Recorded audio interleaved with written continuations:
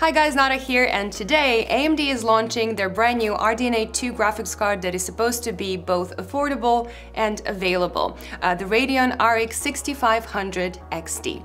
It is a low-end card with only 4GB of VRAM and an MSRP of $200 and because of its low spec, this card should not be as interesting to miners as the other cards that came out recently and hopefully there will be enough to keep it on the shelves and away from scalpers.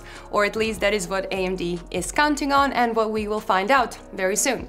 Now I tested both the Asus TUF Gaming OC as well as the Gigabyte Gaming OC that I have right here. So let's see how these cards perform and if they are worth buying at all. Let's go! This video is brought to you by Seasonic and their Prime Series power supplies. These top quality power supplies are very efficient, they're whisper quiet, extremely reliable, and my go-to choice for most of my test rigs and builds around here. And to make the deal even sweeter, Seasonic wraps it all up in a cozy 12-year long warranty. Check them out using the links in the description below. So while the name 6500 XT suggests that it is only one step below the RX 6600, uh, if we look at the specs we can see that there is a much bigger gap actually between the two. The RX 6600 features 28 compute units and 1792 stream processors, while the RX 6500 is down to 16 compute units and 1024 stream processors. It also features half the memory, half the memory bus, and half the total transistors, but it does have higher boost clocks. So while most of the core features are the same, AMD removed some features that uh, we have come to expect from these RDNA cards. So there is no hardware encoding and no AV1 decoding, for example. Now this doesn't really affect gaming, uh, but it does mean that using this GPU for streaming or for video editing is going to be a problem. And the lack of AV1 support is Probably a bit harder to judge right now, but it can affect video playback of certain files. So Netflix uh, has already started rolling out AV1 streams, and while it's completely optional now, it is possible that at some point in the future, you may actually require AV1 decoding for higher quality video streams. So keep all this in mind. But let's see how it holds up in a couple of games. I am going to put all the details of my test system in the description down below, so if you're interested, you can check that out. Now normally I would compare GPUs in a variety of games in ultra and high settings, but uh, 4GB of VRAM on these cards is just not enough to run most modern AAA titles on ultra or high settings, even on a 1080p resolution. Now VRAM is usually pretty simple and you basically just need to have enough of it uh, to run a certain quality setting and if you don't, the performance will be strongly affected. So if you're looking for a new GPU to run games games at their highest quality settings, you should look for a card that has at least 6 gigabytes or ideally 8 gigabytes of VRAM. In Shadow the Tomb Raider, the RTX 2060 Super and the RX 6600 uh, will give you about 120 FPS or more, while this card comes in at 77 FPS. Now 77 is still nicely playable, uh, while the 1650, for example, is struggling with an average FPS of 57. Troy Total War on high settings shows a very similar picture. Uh, this card is nowhere near the 6600 and the RTX 2060 Super, but it is still ahead of the 1650. So it is just clear that this new card doesn't come close to uh, modern mid-range cards and any sort of comparison between them just looks very sad for this uh, 6500. So uh, to make a bit more sense of all of this, I actually adjusted the settings per game to account for the 4 gigabytes of VRAM and to see if I can at least get this card to play most games comfortably.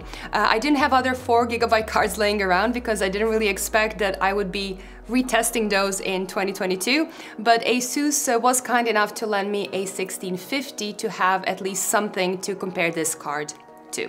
In Far Cry 6, using medium settings, uh, we get a little bit over 80 FPS, which is uh, perfectly playable. In Outriders, the gap with the 1650 is a bit bigger, with the 6500 XT getting a comfortable 87 FPS on medium settings. Assassin's Creed Odyssey also ran well on medium settings with an average of 99 FPS. And in the latest Assassin's Creed Valhalla, it had a bit of a harder time with an average of 66 FPS. Uh, but even with occasional dips below 60, I would say it offered a relatively smooth experience, while the 1650 struggled even on medium settings. In Watch Dogs Legion on medium settings, the 6500 XT scored a nice 76 FPS average. Metro Exodus is a notoriously heavy game to run, but on medium settings again, uh, you get a reasonable 70 FPS, which makes the game perfectly playable. In Borderlands 3, where 1650 does pretty well actually, the new Radeon card still comes out stronger. Now World War Z is an AMD title, so as expected this card comes out pretty strong here as well. And in Wolfenstein Youngblood, the 6500 XT gets a nice 134 FPS average, which puts it about 30% ahead of the 1650 once again. The latest Call of Duty Vanguard runs really well on medium settings with a result of 92 FPS, and in CSGO the average FPS looks great at around 350. However, in competitive games, 1% lows are crucial and these dropped around 70 with this card. It is still better than the 1650, but if you play this game competitively, you should consider buying a stronger card. Apex Legends looks a bit better in that regard with its 1% lows closer to the average and a respectable 100 FPS average on 1080p high settings. Control is a bit of a different story and here we can actually see the 6500 XT struggling to hit 60 FPS even on a medium setting.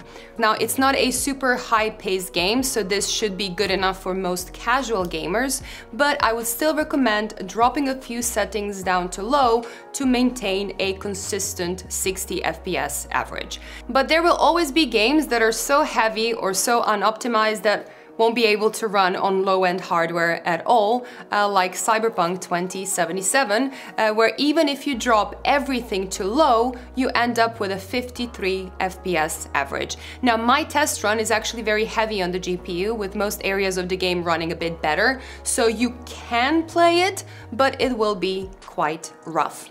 Uh, but surprisingly enough, God of War actually runs completely fine on this card, either at the original setting with an average of 76 FPS or at low settings with an 85 FPS average, and that is measured in combat where your frame rates matter the most. I only tested the 1650 on low settings uh, because even then it struggled to hit 60 FPS. So while it looks good against the three-year-old 1650, uh, you still really have to manage your expectations a lot. Uh, even though most games will run completely fine at 1080p medium, uh, the reality is that with every new game that comes out, you will have to spend some time uh, playing with the settings to you know, make it run smoothly. Now, it is obvious that this card is a 1080p card at best, but I do want to share a couple of Quad HD results, you know, just for reference.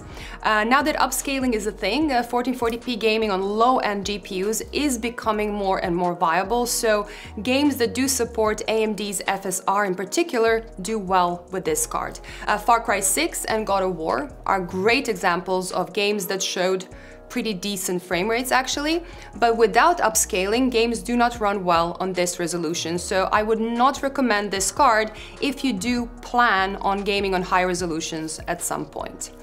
But there is a big issue with this card that you should definitely know about. So this is a PCI Express 4 card using 4 lanes, uh, while other GPUs typically use 16, and that limits the amount of data that can be transferred between your GPU and your CPU. And as long as you have a PCIe 4 system, this doesn't matter at all. So if you use an 11th or 12th gen Intel system with a 500 series motherboard or newer, or if you have an 5000 series Ryzen CPU and an AMD 500 series motherboard, you're gonna be good. But if you want to buy this card for an older system that only has PCIe Gen 3 lanes, you will be limiting the bandwidth between your GPU and the rest of your system, and that might strongly affect the performance. And as far as I understood from Twitter, uh, Hardware Unboxed is looking into this issue specifically, so make sure you also watch their video if you're thinking of buying this card for an older system. Uh, but let's check out the two cards that I have right here. So the Asus TUF is a surprisingly well-built card with a pretty extensive feature set. It has a proper metal backplate, a surprisingly thick and heavy heatsink, uh, two large fans with a fan stop mode, and there is even a dual BIOS mode with a physical switch. Now Gigabyte Gaming OC has a bit of a slimmer design, but it still looks like a proper gaming GPU with its three fans. It clearly has a bit of a cheaper design, uh, it is lighter, the backplate is plastic and it doesn't support dual BIOS. Uh, but the fans do stop in idle, which is probably the only feature that you should really want on a budget card. Now both of these cards only include one DisplayPort and one HDMI 2.1 connection, which I assume is a limitation from the chip itself. And in terms of gaming performance, uh, the Asus TUF gaming card has slightly higher clock speeds out of the box, with both cards showing the same memory speeds. Now the boost speed difference is very small and it will result in only about a 2% performance difference on average. And with a chip like this one, you're usually talking about a one to two frames of a difference between these two, which is not something that you will ever really notice. Now the thicker heatsink pays off when looking at thermal and noise performance as well, so the Asus TUF gaming card runs a few degrees cooler and it is almost completely inaudible thanks to a lower fan RPM. But the Gigabyte card isn't loud either, and while a bit warmer than the Asus card, its 50 degree core temperature is still extremely low. So I would say uh, both coolers are basically an overkill, with one of them being a bit more overkill than the other. Now power consumption is completely the same uh, with both of these cards using about 12 watts more than the ROG version of the GTX 1650 and considering the better overall performance those 12 watts extra are very much so worth it. That also means that you don't really need a high-end power supply for any of these two cards, so most A-brand 300 to 400 watt power supplies that have the required 6-pin power connector uh, should be completely fine if you combine these cards with a similar budget processors. So between the two, uh, the Asus TUF Gaming feels like a nicer option, but this is usually what Asus does in the budget segment, so they focus completely on making the bestest product and just lose sight of what these cards are meant to be, which is cheap.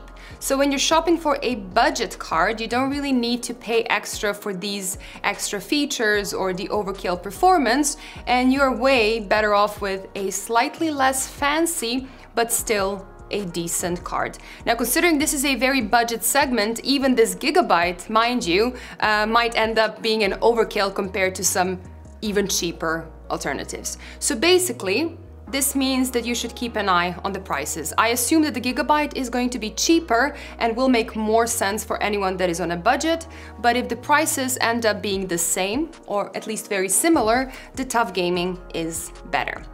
But should you buy this card at all? So the 6500 XT is extremely cut down from the RX 6600 and its performance is nowhere near the mid-range cards like the RTX 2060. The 4GB of VRAM prevents you from running most games on high settings. Uh, they cut out a lot of encoding and decoding support and there is a serious concern for anyone uh, who would be buying this card for an older system. So there is a lot of things to consider before buying this card at all. Now the MSRP is $200, but I heard that these third-party cards will be around 300 to 350 euros here in the Netherlands. Uh, I'm not sure about the US, but I suppose it will be the same. And even if that ends up being correct, it is still not a bad deal. Uh, for those 350 euros, you can just about get a GTX 1650 right now, and the 6500 XT does perform better. Now, beating an almost three-year-old card is a really sad compliment in my opinion, but it will at least be an improvement for anyone on a really tight budget, because if you look at the next real step, it will be the 6600 and up, and that will cost you 550 euros and up, which is a big difference. So I would say it is just a really bad time to buy a GPU right now. And if you can hold out a little bit longer, I would really recommend you do so. Or at least wait for the NVIDIA RTX 3050 to come out, which is rumored to be somewhere next week. Uh, its MSRP is $250. Uh, it should be a direct competitor and it will be worth waiting a couple of days more to see how it compares to this one. Uh, till then, that is all I have to say about this card, so I hope you enjoyed this video. If you did, please give me a like and don't forget to subscribe to never miss an upload. Bye guys and see you in the next one.